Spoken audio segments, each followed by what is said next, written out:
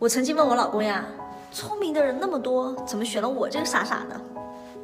我老公说，聪明的人虽然多，但是有爱的能力的人很少；能看见成就的人虽然多，但是能看见人的人很少。我那个时候就想，嗯，聪明的人倒是很多，但可能因为太聪明了，都急着去证明自己了，反而没有精力去爱了。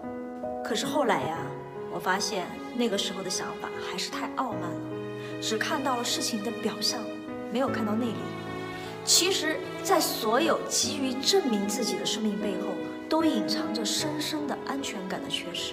恐惧压倒了爱的能力，害怕得不到认可，害怕被忽略，害怕冷漠轻视，害怕没有美满的结局，害怕看见自己的真相，害怕看见别人的真相，害怕占据的心灵，就很难自由的去爱。